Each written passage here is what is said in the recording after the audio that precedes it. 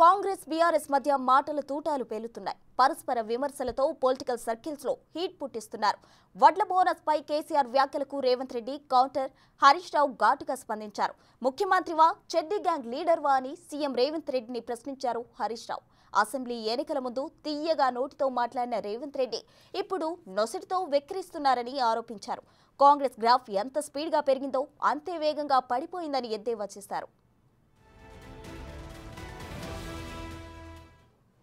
ఐదు వందల బోనస్ ఇవ్వయా రేవంత్ రెడ్డి గారు అంటే ఈయన అంటాడు కేసీఆర్ నీ డ్రాయర్ ఊడగొట్టా అని మాట్లాడతాడు.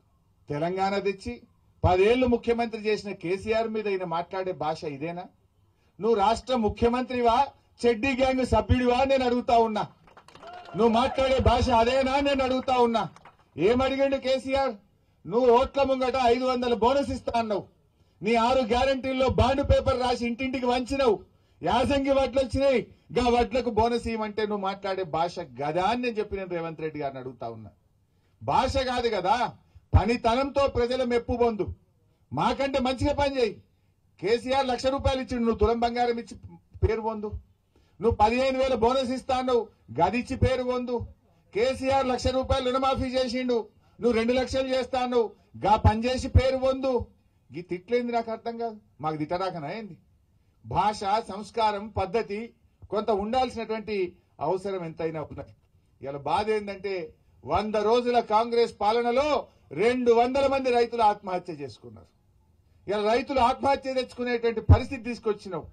ఇలా నేను అడుగుతా ఉన్నా కాంగ్రెస్ పార్టీకి ఓట్లేసింది నీ తిట్ల కోసమా? నీ తిట్లు వినడం కోసం ఓట్లేసినామా ఏమన్నా? నువ్వు కేసీఆర్ కంటే మంచిగా చేస్తా అని ఊరిచ్చినావు. మాయ మాటలు చెప్పినావు. గా పని చేయి.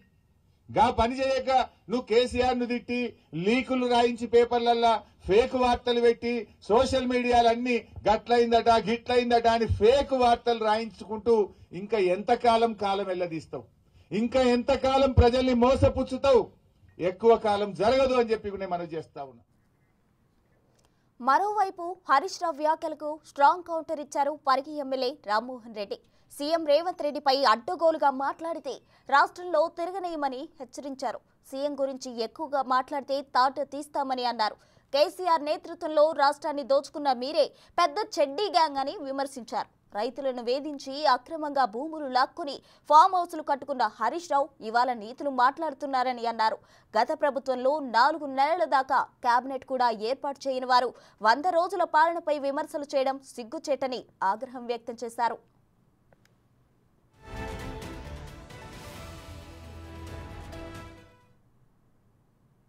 చెడ్డీ గ్యాంగ్ అంటే రాత్రిపూట చెడ్డీలు వేసుకొని దొంగతనాలు చేస్తారు. మీ పరిస్థితి ఎట్లుందంటే నువ్వు నీ బామ్మర్ది.